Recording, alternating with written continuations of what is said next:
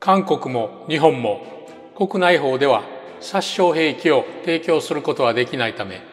現状は防弾ベストやヘルメット等の支援にとどまっている。そして絶対に忘れてはならないのがウクライナ国民の中にも他国の支援した物資を平然と横流しするような連中が存在するということである。ロイターの記事から北大西洋条約機構 NATO のストルテンベルグ事務総長は2023年1月30日韓国にウクライナへの軍事支援拡大を要請した。ロシアの侵攻後紛争中の国に兵器を供与しないという方針を転換した国々に言及した。ストルテンベルグ氏は現在韓国を訪問中で日本も訪問する予定。ウクライナでの戦争や中国の影響力拡大を受け日韓との関係を強化する狙いがある。韓国高官との会談で欧州北米の出来事は他の地域と相互に連携しており NATO はアジアでのパートナーシップを強化することで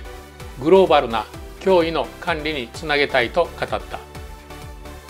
ソウルでの講演では韓国がウクライナに非致死性兵器支援を行ったことに謝意を示しつつ弾薬が緊急に必要だとしてさらなる支援を求めた。韓国のユン・ソクヨル大統領はこれまで紛争中の国への武器提供を禁じる自国の法律によりウクライナへの兵器提供は難しいと述べている。ストルテンベルグ氏はドイツスウェーデンノルウェーなどの国も同様の政策をとっていたが変更されたと指摘。独裁や先制に勝ってほしくないのであればウクライナ人には武器が必要だ。それが現実だと述べた。またウクライナ国民を守るためだけでなく中国などの独裁的指導者に武力で何でも手に入れられるという間違ったメッセージを送るのを避けるためにもロシアにこの戦争を勝たせないことが極めて重要だと語った。中国は NATO の敵対国ではないが NATO のアジェンダに占める割合はかなり大きくなっているとし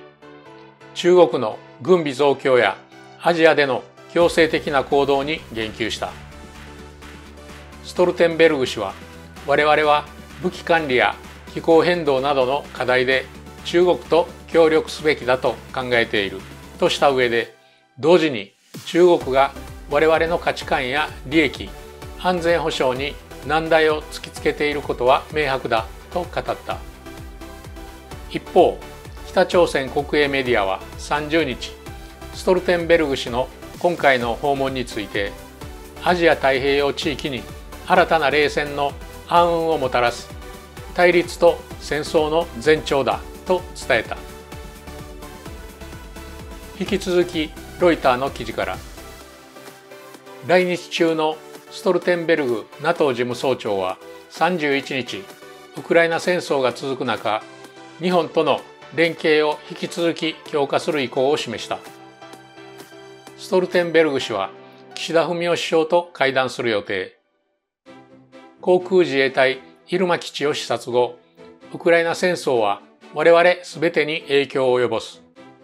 このため航空機や貨物能力を活用した日本の支援にも非常に感謝していると述べた。同氏はウクライナ戦争や中国の影響力拡大を受けてアジアの同盟国との関係を強化するため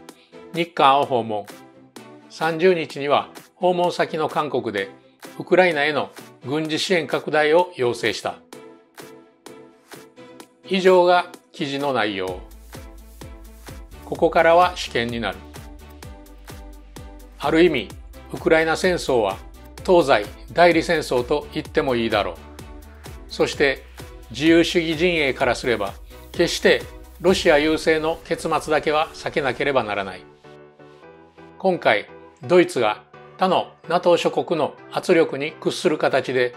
ウクライナに戦車を供給することになったが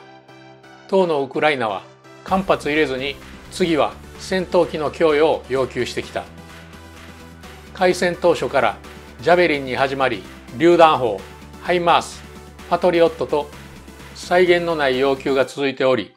さすがの EU 諸国やアメリカでも供給疲れが出そうになっているがやはり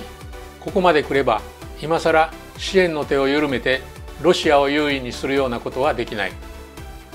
そこで NATO は東アジアの自由主義の国々にも支援を要請することに至ったのだろう。その代表的な国として韓国と日本に事務総長自らが話し合いにやってきたというところか。ただし韓国も日本も国内法では殺傷兵器を提供することはできないため現状は防弾ベストやヘルメット等の支援にとどまっているそして絶対に忘れてはならないのがウクライナ国民の中にも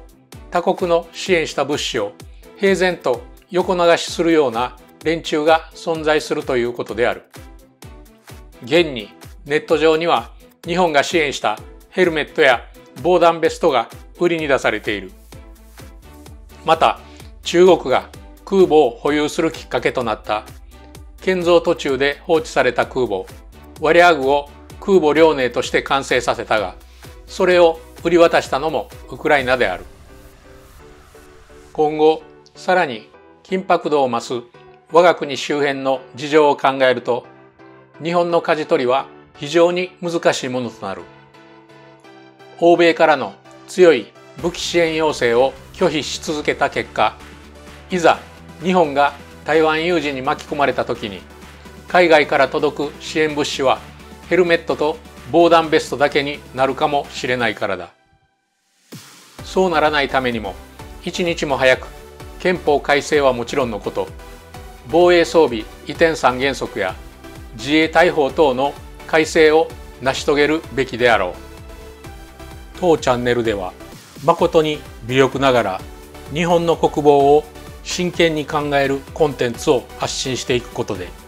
一人でも多くの国民の意識改革の一助となればと思い運営している。賛同いただける方は当チャンネルの動画の拡散にご協力いただければと思います。何度でも言うが国民は日本だけが戦争を放棄したとしても相手にとってそれは何の意味も持たないということに気づくべきだ。たとえ差し違えてでも反撃するための軍事力を持つことは主権国家として当然の権利であり、国家が国民を守るための義務でもある。こちらから侵略することはなくても、降りかかる火の粉は払わねばならない。そのために日本は強くあらねばならないのだ。この記事に関する国内のネットの反応は、ロスケ戦車と渡り合うなら90式やろ。まだヘルメット足りないんか？お笑い韓国軍に何を要請するんだよ？日本ってこういう国際機関に利用されやすいよな。なら NATO 入れろよ。日本が攻められたら助けるってことだよね。要請するなら台湾有事でユーロファイターとか出してよ。なお、日本有事には何もしてくれない模様。NATO が支援するのが先だ。筋くらい通せ。よかったな、韓国。日本より先に来てくれたぞ。K2 戦車はロシアに供与してこそウクライナの支援になるぞ。NATO の目的は対ソ連対ロシアやん NATO は K の法則を知っててやってるのか？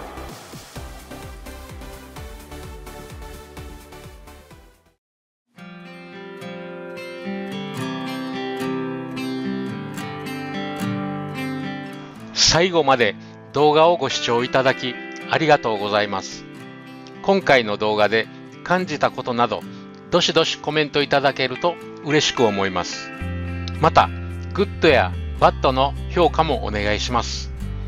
チャンネル登録とベルマークのクリックで新しい動画の投稿時に通知されますので合わせてよろしくお願いいたしますまた当チャンネルを応援いただける方はチャンネルメンバーシップもご検討ください。